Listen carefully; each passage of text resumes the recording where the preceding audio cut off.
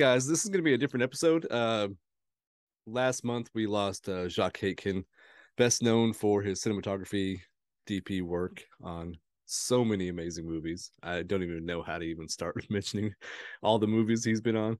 Uh, as recently as uh, let's see, what one of the recent ones are Black Panther, um, Venom. He worked with Mick a few times on Nightmare on Elm Street, The Hidden, uh i mean so many movies just look him up.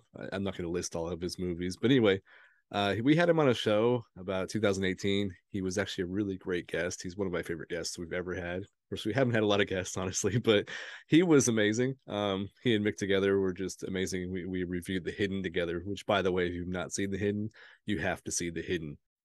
Mick and i decided to replay uh, the episode of uh, when jacques was on our show in 2018 so please enjoy this episode and just know that we lost somebody great who was a great cinematographer, DP.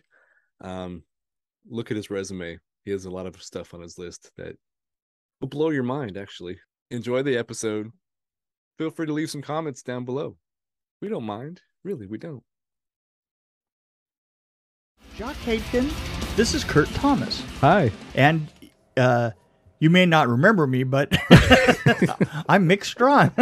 I do remember you. You're a very vivid character, a vivid memory in my mind, Mick.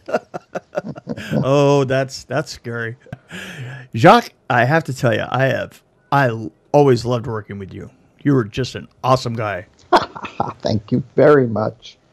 Uh, it's a shame more people don't share your perspective. Well, ouch. no, and I accept responsibility for that. You know, um, I know my work is more than good enough, but I'm an eccentric. So my perspective, my perspective on the world is. I think what we're going to do is. Um, yeah, we'll talk about the hidden if you're if you're if you're willing, Mr. Haitkin. Yeah, well, I saw it today, and uh, I must say, I was, you know, there were things about it that were wonderful, but there's too much that bugs me about it. Not the film, not the filmmaking. It's strictly a photography issue for me. I struggle with it, and I don't think the print is correct. It's too bright. It's too bright. New Line Cinema has so many horrible prints out there of yeah. their stuff. you know, I mean, the although the Nightmare print, on Elm Street that's out there now on video on demand is acceptable. It's it's it's decent. It represents what I shot. Oh yeah. Oh good. Yeah, day and night, day and night to to. We're gonna do uh, one a month up until the 30th anniversary of four and that's when I, have got a book coming out about Nightmare on Elm Street four. So excellent. excellent. You know, I figure I might as well tell all these stories. I've told I've told them to like the same eight people for for you know how many years, and about it's about time to get it out. yeah, before you forget, right? My kids won't listen to me. My grand my grandchildren won't listen to me. So something must be wrong with me. Yes, then. yeah. So I'll well, listen to any any yeah, story. Exactly. There. And yeah. by the way, I saw the hidden for the first time, and I thought it was amazing. Yeah. Yeah. I, I showed it to my girlfriend, who's not even into that genre or anything like that, and uh, she really got, thought it was a hoot, for real. That's an interesting thing. You know, I thought about that when I was watching it this time. Is that it crosses appeal because you know it, it's a great buddy cop, oh, yeah. buddy film, yeah. and and it's sci-fi. It's, it's humorous as hell. And I also have to say this: for some reason, the clothing and the hairstyles do not bother me as bad as a lot of the '80s films do. Ah, true. I, I mean, I don't think that there was as many right. Buffonti, oh, no. Buffonti hairdos as there is. Usually. Well, you can't be a tough cop with a Buffon hairdo, right? Yeah, that's true. Yeah, yeah Michael Nouri was like emperor. He was the emperor detective. I mean, that that guy was on fire, wasn't he? He yeah. was a superhero oh, yeah. cop, and he played it. He he inhabited that role, and his whole, you know, this is a guy who just lives in the real world 100%, and he is not to be argued with. He's right. got a wife and kids. He's got a wife and kids that he loves and he knows what's real and what's not real. And especially, there's a great turning point. See, I'm getting into the narrative because to me, I mean, we st- it's fun and everything, but the the strength of that piece is its narrative. Oh, it is. It's it's about all these people finding. It's it's about people that are either finding out who they are or finding out that everything that they know is just a little skewed. Yes. I thought it was about capitalism. And Oh. the communist was arrested at one point. you know, you're a very weird person. No, I mean You it was, shouldn't talk well, sometimes. The creature got into some people's bodies and took whatever he wanted. It Oh, was all well, there you about go, like you you know, know? American greed. That's the way I saw it. Well, so you're saying that Maybe this I'm is a- reading too much into it. Yeah, I think you are. Really, I do. No, I think there's there's validity to that because uh, all allegories come from the human experience and the human condition. It's true. Yeah. So there can be resonance for that. Oh, so you, you know what? It never occurred to me is is uh, is we do have the total id out there, don't we? Yeah. Yeah. no, I, I mean, you know, like going down the road, uh, uh, pumping on the uh, steering wheel, listening yeah. to metal rock in a Ferrari. Yeah. Yeah, it's the id all the way out, isn't it? Yeah. Yeah. And then it was like, I mean, all the cars they were using were cars that were really wanted back then. I don't know if they really are now, but they were yeah, back really. then. it's true. No, it's really true. And and I have uh you know, after we get done with the review, we're going to talk about Ferraris. You know? okay. Well, what I was saying was getting back to my point of why the film sustains. It's you have this personal journey of this main character who, in the beginning, is so diametrically opposed to accepting this situation, and step by step the narrative takes him all the way from the music store, where he sees him. He arrives at a crime scene, and here's this guy he just told you're the guy you're searching for is dead and in the hospital. So he says, No, now I'm looking for this guy. So he disappears. Then he goes to a crime scene. There's this guy already at the crime scene. He pulls him outside, says, What the hell do you think you're doing here? you know, and it- you know, when you if that's why it's great to see it for the second time, to watch Kyle MacLachlan's performance, because a lot of times you know, people didn't realize that Kyle was part of it. You know, they Right. did- Oh yeah. Well, he's very. He's also very. Uh, he he play his his whole character is so flat. You know. right. And even when he tells him things that don't make sense at all, Nouri's just listening, but of course he's not buying it.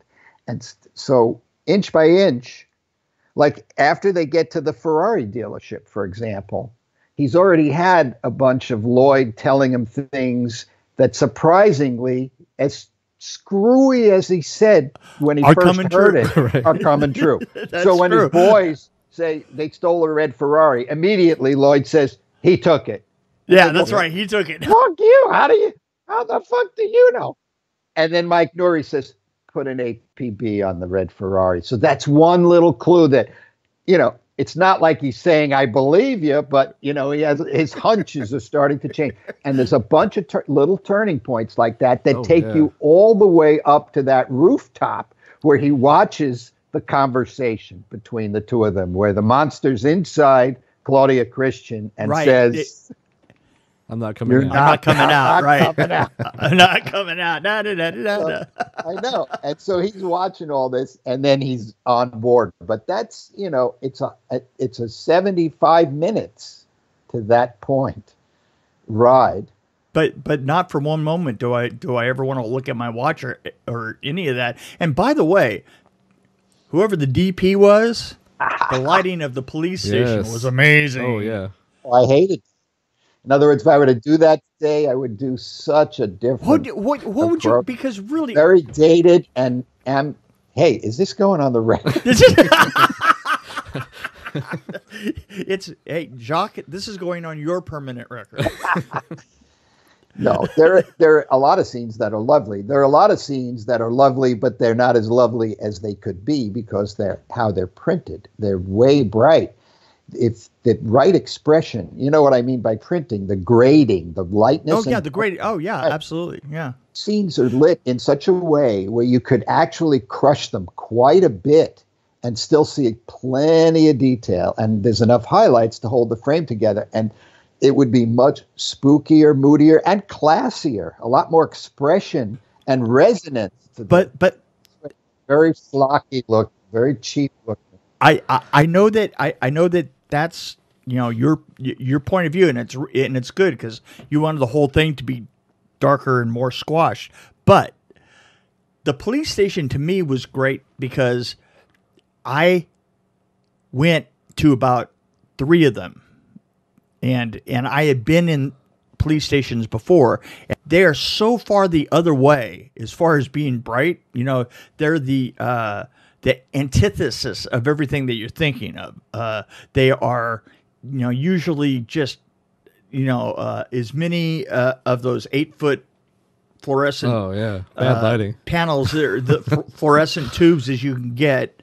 Uh, I, I was, we kind of built that based on photos right off of the uh, Rampart uh, police station, and you dimmed it down a great deal from that, and and you know because you were all Kino Flos on the ceiling, right?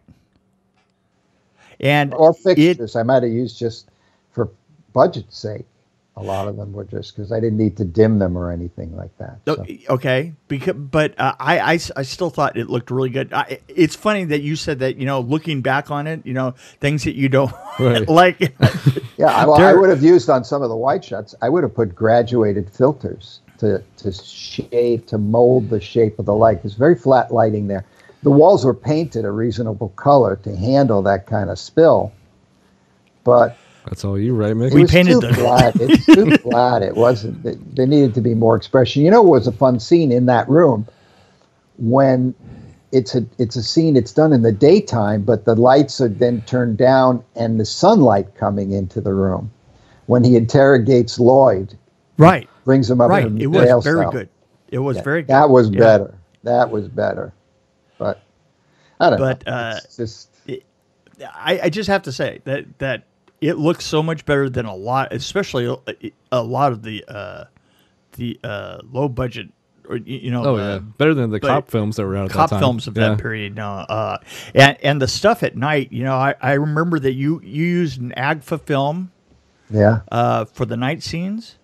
Uh, working working with that different uh, film latitude so that your blacks didn't quite go completely black. Correct. So so that when you're doing that chase scene, it you can see a lot of detail around. And um, I, Now that's I- very that's the norm. yeah, that's the norm, right? Yeah, I, I, I, I remember it was it was the first time that we actually had a truck running in front of that. I had hired a truck to run in front of everybody and do wet downs, and I just I remember that. One thing that Jock said was, you know what? If you do one wet down and we start this thing, you're gonna have to wet do it down all the time? everything. 'cause It's gonna have to make sense. right. Be yeah, he was right. Yeah. I really hated it after after a while. I didn't even want to do it anymore, and, and I was stuck. yeah. Well, But- it definitely enhances a film like that. So But the stuff on the roof, uh, amazing. Yeah, Yeah, that, the- that was location too. that that was just a great location. That, you know, But to shoot it on location, have to get lights up to oh to be higher than a six-story building back then on low-budget movies. It was a big deal having people. Now it's nothing. right? And and remember, I remember that you had me build all those uh uh um, what do they call them? Um, skylights, so that we could get lights in there, so that we didn't have Yeah, just that a- was too much. Boy, talk about insecurity. yeah. Boy, I'm just killing myself. Wow. I was I thought that was uh th- that it, it looked good overall, and and Yeah, no, it and- definitely was too precious. Is my beef. It wasn't edgy enough. well, you know, You know, it's the '80s. It was different. It was it, it, it, was it was a it was a great looking film. That, that, that despite despite what you think, Right. dis, despite yourself, despite yourself, you did a great job. yeah. Well, you guys were young lads, We were we were and you were just getting started, right? we were young, obnoxious. yeah. You're younger than me, Mick. So Yeah, I am. I am. I wasn't yeah. so young. I, I had already. I should have known better. You're about six. I, I think you- you're about six years older than I am, aren't you? I'm going to be 68. Yes. Sixty. Yeah, yeah, yeah. See, see, he's an old guy. He's he. Yeah, I'll tell you something. When I was 62, I could still hand. I was on Captain Phillips for two months on a Navy That's what ship. we saw. Hand holding. Uh, Yeah. Ooh. I can't even lift a camera. I'm still shooting though. I'm still shooting. Well, you don't need to at this point, right? No, no, no. I love it. It's funny. Um, lately, after my wife passed, I was out of the business for a while. I got into second unit work, and uh, I was DPing and shooting. But you know, people really liked my long lens work, so now I work for uh, you know people bring me on to just do long lens and also remote camera systems. I'm very good on the wheels. These Oh, young are you? guys- Yeah. Yeah, these younger guys are not as adept. They they're good with joysticks, which I am not good at. I don't understand how operate a camera with joysticks. But um, so I'm still working. Is my point. As well, you should be. Mostly, I work with my brain. I'm working on some of my faves, by the way. Great. Oh, cool. Yeah. So l- let's go back to the hidden. We went through. we went through. Uh, I thought that the the gunfight in the Oh uh, god, the gunfights were great. the gunfight All of them were good. in the massacre in the um uh what what are the uh mannequin yes, factory. yes. oh man, that was a lot of fun. Yeah, that looked so good. And and and all through it, the one thing that I really like about it is is how many times Michael Nouri hits Claudia with a a bullet, and and you can see it in his face every time it happens. He's thinking, "What is going on? Why can I not kill this girl, this woman?" and all the time, the mannequins are exploding all over the place. And uh, uh, and, and then we Oh, get yeah. upstairs, and, and then she she does that fall. It, it is it is really altogether very. It has a masterful look. Oh, she fell through the sign. Oh, that was that was, beautiful. And, and and you see, they didn't do, they didn't fall, they didn't want to fall through the um through the neon. It wasn't um, recommended anywhere, and so we sewed little bags and put the, and the neon was all in little uh, packets oh, okay. that that we sewed out of window screen, and and what they they were made so that when she went through it, like one would go one one would break and go Oh, one way, and the other would break and go in the other. So none of it went down with her. right. So it all stayed up in the air. And I remember coming around the corner after she after she went down in the bag. Um, the stunt person uh, and, and and lands in the bag and and I'm I'm sniffing around and they're looking for any glass that went with her. Going, yay, yay, hooray! Nothing came down. Yeah, you bet. That's a big deal. I mean, physical effects and stunts. You know, that's a big responsibility when you do a gag like oh that. Oh yeah, it was it it was So- uh, kudos to you for keeping them Yeah. safe and getting us a great shot because that's what it's all about is doing it safe And I might add that my mother, my mother, actually won the pool. That was the only night that she ever came out to see something filmed that we had done. And she drove out from San Bernardino and uh, she watched us uh, film that night and she won the pool for when we were going to for when we were going to break the neon. and she I think I she won $57 that night. Nice. nice So it, it go, uh, Claudia Christian yeah that was a tough night for me to shoot Oh, on that was location and get all shit Oh, done that went a long time. And we had remember we had that set piece We remember him hanging Right. from the thing with the cops coming that beautiful rakish shot was your That set was piece. beautiful, though. and I'm right on the yeah, it was right on the frame. I used every scrap of set you gave Well, me. a- and and and I might add that you know the that rooftop. I remember. Do you remember we had to move that thing twice? That we had it up there on the rooftop, and we were trying to do all this in one night, and we did. We managed to get through that thing all the way up to the fall in a night. Wow. You know, Yeah. And uh. And that set piece kept being in the way, no matter where we would put it. I'm telling you. no. we're moving it all over the place up there, and I was like, "This is getting really old," because it was enormous. I know, I'll Yeah. bet. That's terrible. I, you know, I know it's 30 years later, 31 years later, but No. I'm sorry. I, you have nothing to apologize for. You know what? I, I figured this way: if we both get out of these things with um, our psyches intact, we're doing pretty damn good. You know? Yeah, It- we- we we were we were superheroes because when you look at the budgets of these films Oh yeah. and you see what's on the screen today, that's the lunch budget of a medium-sized Yeah, film. yeah. You know, But but then it's all, all- at the same time, you know the uh, the effects budgets are, uh, you know, you can do a lot with almost nothing now, and you don't have to develop your film anymore and all the rest of that. So so we have these amazing young Turks coming up with uh, just some amazing other films. Like um, I don't know if you've seen a film. Um, what's the one with the cardboard? Dave makes a maze. Oh, yeah. just Yeah. amazing. Just Yeah, just that was great. absolutely amazing thing to see. Definitely low budget too. Yeah, definitely low budget. You know, so so there are other young Turks that are following in our footsteps, uh, even if they don't know it. it's called Dave Makes a Maze. Yes, it's amazing. it it's a, it's an amazing film. You have to see. I think it's on Hulu, I think. Hulu. Yeah, it's on Hulu. If you get a chance, you have to check it out. It it is a It's only on Hulu. yeah, only on Hulu. It is a tu- little tour de force. But uh, but so I, I always loved Claudia Christensen in that role. I mean, you know, to me, she really did such a great job as the zoned out stripper. Oh, it was a great performance. I thought that was better than Strays. You know how they were. You know how that.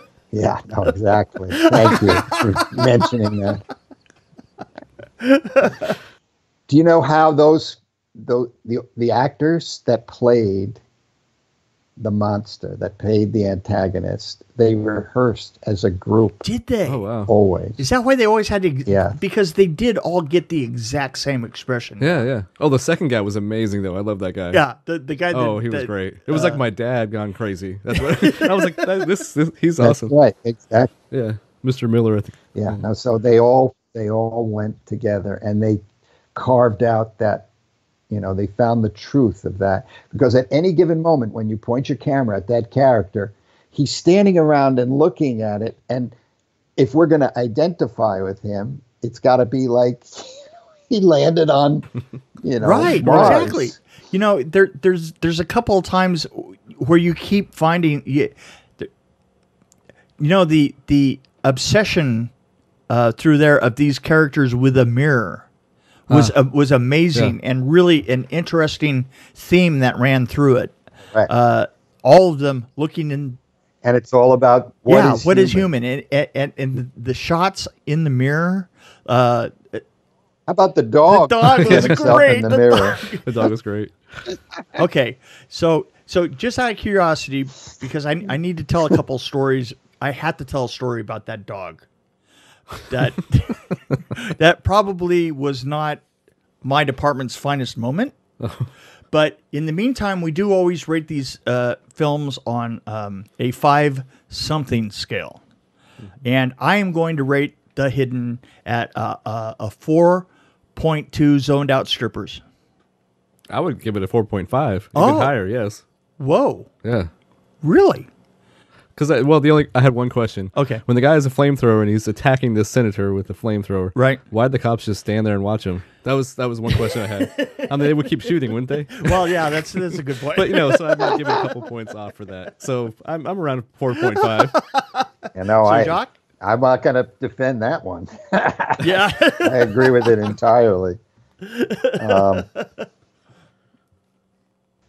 that probably could have been improved with editing. so, so uh, Jacques, you, between one and five, what do you think? That's a tough one. It's a good thing my girlfriend was watching with me because she she was very concerned. She didn't want to be scared and grossed out and anything. And it just the movie tickled the hell out Oh, of her. great, great. Yeah, she just loved it and thought it was funny and a hoot and, a, and all that. So I don't want to be too hard on it. Yeah, no, I, I, I go, I'll go with Four 4.2. po- 4.2. That's, that's, I Okay. can live with That's a that. good good one. I don't know about 4.5 well, I just really enjoyed it. I guess I well, it's the first time I had seen it too, so I, I was Well, all yeah. in. Yeah. So You guys come from a different point of view. we Yeah, come from a worked different on point it. of view. So it's so hard- I'm going to tell a story about this. You're looking in the mirror. You guys are both looking in the mirror. Is that what I'm doing? That's right.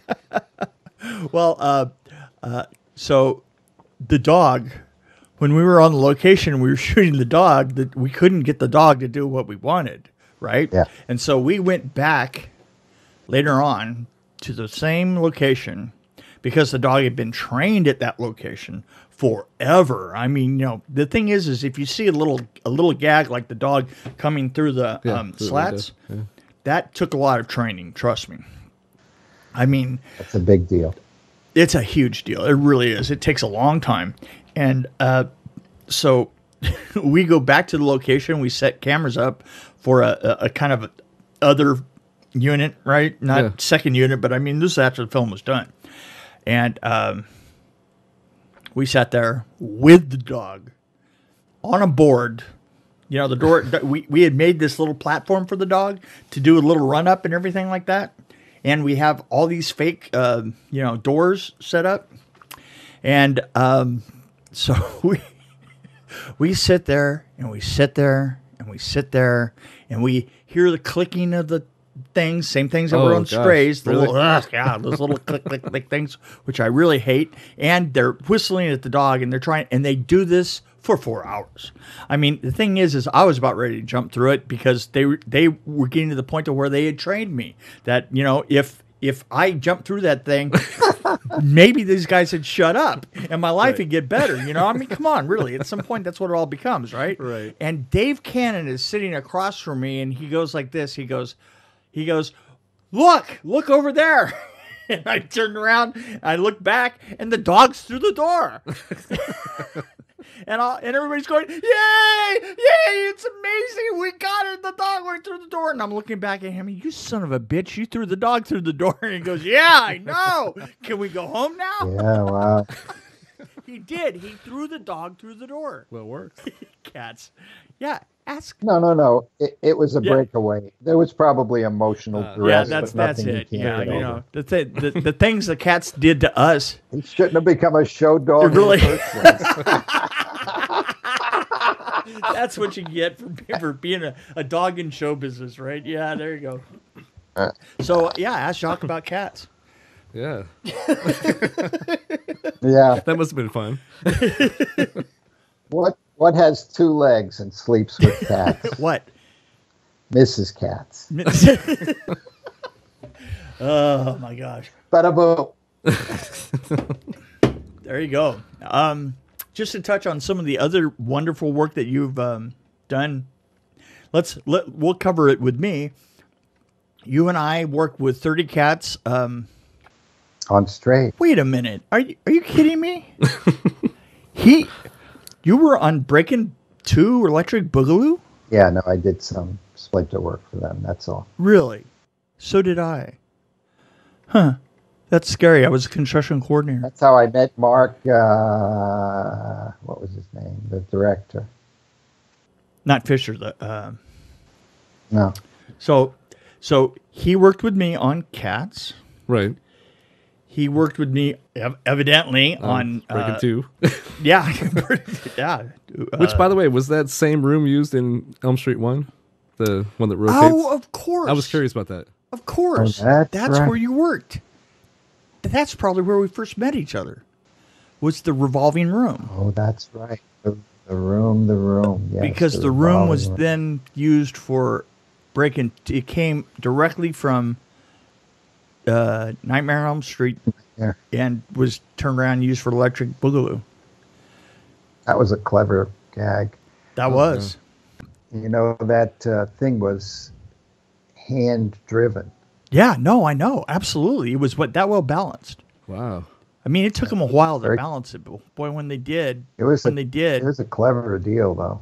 I mean, it had Yeah. huge mass and and entropy, but it was balanced so that if you pushed on it, it would move.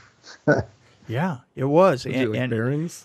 Yes, bearings and and weighted and all kinds of things. You would know better Yeah, the, somebody had said had actually Jim Doyle. to to give you Jim Doyle to give you an idea of how uh, how a huge piece of mass could be moved that easily is it, it was balanced and balanced and balanced and somebody had left a piece of L metal uh, attached uh, hadn't cut it off when they weld, welded and, and and were finishing the room on the inside and supporting it and they did a test of the room and the L metal bracket went up and hit the grid.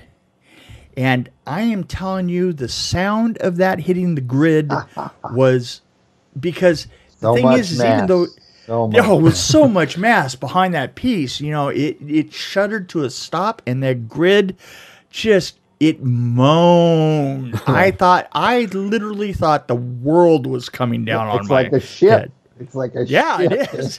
it's like pushing a ship on the water, man. It was amazing. yeah, no, this wacky stuff.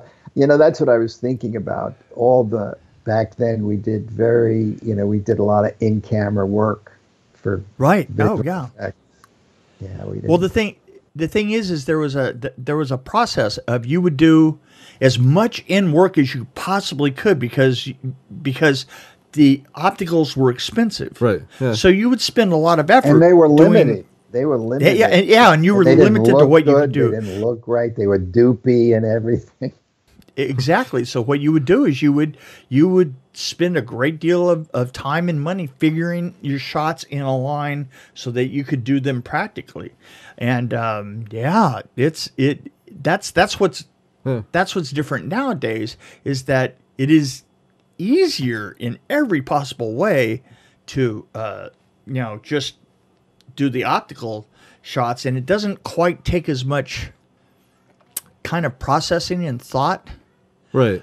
I mean, unless you get into the really complicated ones, but uh, but the thing is, you're using those shots all the way along, and, and they don't kind of have as real a feel, which kind of gives you that you know what I've talked to Yeah. you before about the Frank Frank Miller actually does a lot of real stuff, Yeah. and then brings it together with the CGI, and it really has. Oh, I think. See, that's what my argument with the older films that hold up longer because I think that people are kind of getting worn out with all this no, CGI. you see, that's that's just because we were better people.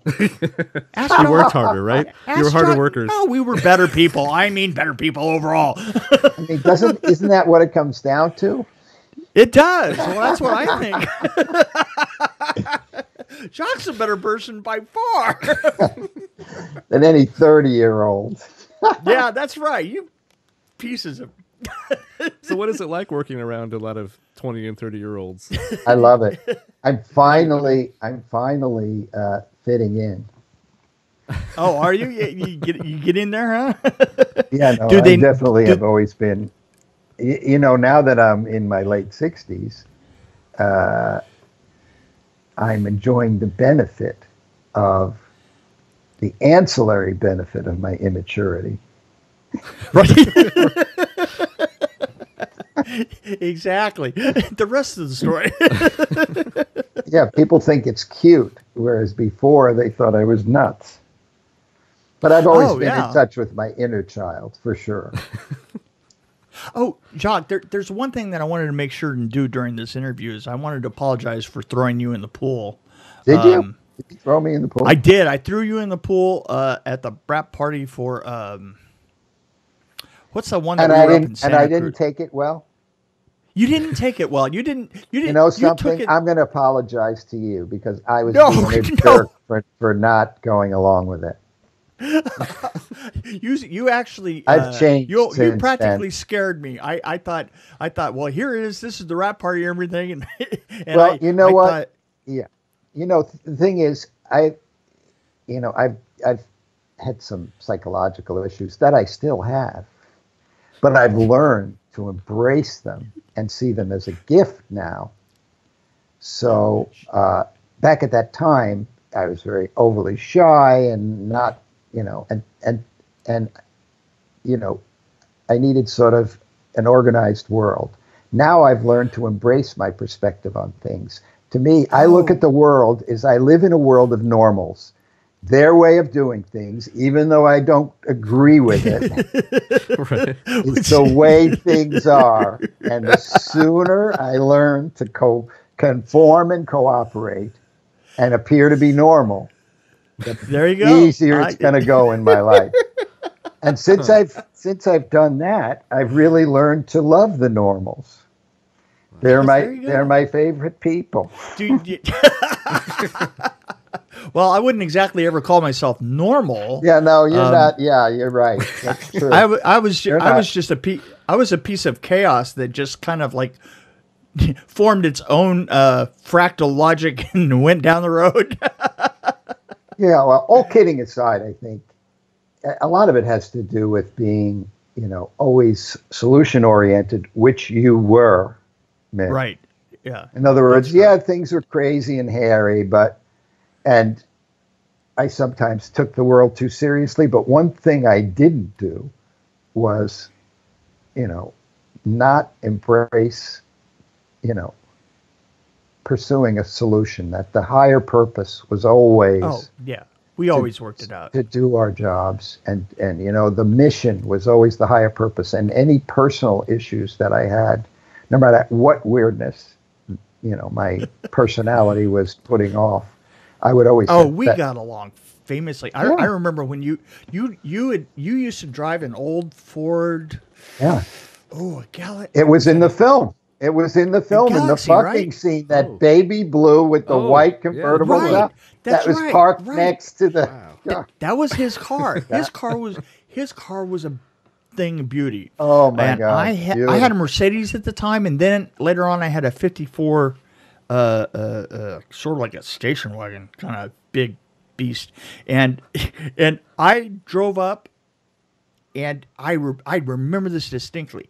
He drove up in a Lexus, right? Yeah. and, and I got out of the car, and I was like, Jacques, what the where's the, what the hell is wrong with you, man? Where's your Where's your Ford? You know, I, I felt I felt betrayed. I felt like like Uh. like all of life was going to have to change because Jacques Haitkin was was driving a Lexus, and he goes he goes Mick, it's like it's like a Cadillac, except for it's really well made and it's inexpensive and it's really cool. And um, and I remember, and I and I said at the time, I said distinctly, but it's a Japanese car. wow, things changed. Oh yeah. Yeah, no, it's funny. I I followed the development of the Lexus through the late '80s, and it was released. Its first year was 1990, and I was there to buy the He was first Wow. That's runs serious. rolling off the assembly line because I I said now because I loved cars, and to me, what what the Japanese and particularly what Lexus was doing, they were the first high end brand, and Toyota had the money and the mm-hmm. technological. That was a very cool car for It- it me at that time. It was.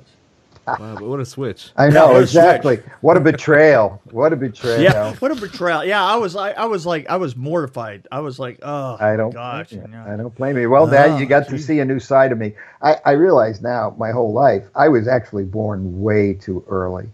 Yeah. Way too early. I mean, all the stuff that's coming, I just, I'm tapping my foot with AI. Uh, you know, it's just not soon enough. There's no flying cars. We're just, we didn't even Uh. get to the moon. Nothing's happening here. you wanted, Very you to be- disappointed. you wanted to be coming of age of age to start your DP work about now, right? Yeah, well, I figured 2001. Oh yeah, there you be go. up in space and space station. Yeah. But Oh, okay, yeah. 2010. Here we are, 2019 from Blade Runner, and look Oh. at us. The only thing we have are these cell phones are pretty impressive. Yeah, no, that's true. But but hey, but we have Donald Trump. Yeah, well, Sorry about Oh well. Anyway, uh, Moving on. moving on. well, hey Jacques, I don't want to keep you any longer. Um, Well, I do want him to talk about like some things that are currently going on with him. well, there you yeah, go. I gotta That's know. what I I just gotta gonna know. say. Let's hear because I just got done watching Black Panther, and and the Korea stuff was amazing. yeah, I was on Black Panther. Yeah, yeah. Yeah, talk to us about what you're doing now. Uh, well, that wasn't my last. I was on Venom. Do you know what Venom is? Oh, It's a- Venom. Okay, Oh, I've heard of that. I yeah, that's a Sony Marvel with uh, Tom Hardy. It's a spin-off. It's a spin-off of Spider-Man, Venom and Carnage. Yeah, if you know the comic books. Um, did they try and do that a long time ago? Uh, I don't know whether they did it as a movie. This is a you know a whole big, you know, Megillah movie. So, Yeah. um, but I also was on the Korea unit. I was camera operator on that. I wasn't the DP of that that action unit, camera operator. I did some splinter work on that. That's why the unit that picks me up uh, every now and then to operate. I mean, I do DP, but it's nice to get picked up to operate because it's very easy job. None of the pressure. Yes. Of course, money is much less too, but. Uh, but that was fun to go to Korea. It was cold working at night, but uh, um, Well, but well, know, great. So you're working on Venom, and you got anything anything else coming up? no, I don't really. I'm trying to start a new career as a, is your new career? a screenwriter and producer. Oh my gosh! I figure I'm trying to make it by the time I'm 72. I know that's tough, but There you go. I don't have much more time. Well, if you well, i- i- if you if you uh, need somebody to uh, get out there and uh, uh, give you any advertising at all, uh, we will be there for you. oh, Okay. absolutely. Yeah. Very sweet. And you know what? Uh, I would I would love it if uh, maybe uh, we could do this again, maybe in six months or so, if you're if you're willing. Yeah, sure. I'm, I, Just to you know, we'll talk film, about some other stuff. filmmaking is my passion. Do you realize I'm coming up? I started. I shot my first film when I was in college for money, because I, had bought a Bolex in high school. So I was Oh, shooting '68. I was doing Whoa. industrial. Oh my gosh! So this year is my 50th anniversary as Woo! a professional Wow. cinematographer. And I oh, still my haven't lost my youthful passion for storytelling and shooting. And so, yeah, I'm always up for talking about it and getting involved in it. You know, I still have that fire in the belly to do it. And and the writing part is still fun. I mean, you know, I realize after all this time, uh, the, and the reason why I don't do many commercials at all is narrative is really my interest. I like being a photographer, a director of photography, to portray stories and characters because it's almost like three dimensional chess. It's very different than just photography. Looking at a narrative in a script and staging events and then creating a long through lines, you know, following story through lines and using motifs and all this. It's such a complex canvas. It's incredible. It's a very beautiful place to work. It's very stimulating for the mind, the creative, the intuition. What a gift to be able to work as a filmmaker. What a great art. oh, that's that. We were we were gifted with this. Really, we're so lucky to do this kind of work. Uh, I will totally agree with you, and I and and uh, and, and I want to say that you know it's been a pleasure working with you and talking to you again, and we're going to make it happen again. Yeah, that's fine. We, I'm, you know, we can watch another movie and comment. Oh, yeah. Commentary. Yes. I'm very opinionated. Although Oh, less, really? Really? critical. I'm less You're, Chris- you're opinionated. I'll tell you, I'm I'm much softer in my old age, but not towards my own work. Oh, yeah. Well, no, I think it's great that you're willing to do that with your own work, Yeah. especially. oh well, yeah, no, no. well, I call a it- spade a spade. You know, look, I was Dude. worried about Nightmare on Elm Street, and uh, I was involved in one of the remasterings that I thought was a decent remaster. This remaster doesn't quite look like the one. It's very similar, but this looks like they went and got better te- technology than the HD master I worked on, which was had to be at the maybe 20 maybe less uh, maybe 15 years after. So um, i'm glad. I, that transfer was great. The hidden disappointed. I, I don't think the Oh, the expression was not what i would have intended. You got scenes where there needs to be much more mood and it's lit well enough if it would just be printed properly it would look so much cooler and not dark Mick. You know, the irritating dark. I know what you're Yeah, talking about. yeah. Plus, in video, you can lift shadows, so you'd see plenty, but the tone of it would be different. You know what? I, I will try looking at it with some sunglasses on. There you go. but some of the scenes are printed correctly, so you'll have to take them on and off. Well, I'll take them off of those scenes naturally. you Come know on. what? You're making fun of me. You're making. I am making fun of you, but you know what? You can take it. Yeah. You, you are you are a great guy. You are really. I'm you're a good friend. gullible, but yeah, no, I'm certainly a lot better guy than when you threw me in the water. But I wanted to make sure that I apologized for you. I'm glad you reminded. Oh, I mean, it's not a big event in my life, but now that you mention it, I think back and I go, "What a prude! What a what a what a jerk!" I uh, thought I, I I was actually afraid for you getting out of the water. I was afraid that something was going to happen.